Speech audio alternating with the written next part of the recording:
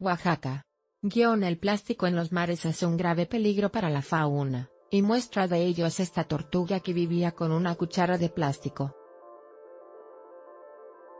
Un pescador reportó a una tortuga que flotaba sobre el mar, y de inmediato personal de protección civil de San Pedro Mixtepec, Oaxaca, fue quien auxilió. La tortuga golfina tenía incrustada entre el paladar y la nariz una cuchara de plástico por lo que inmediatamente fue trasladada a la Universidad del Mar, donde le fue extraída. Después de seguir las recomendaciones de los biólogos, la especie fue liberada esta tarde.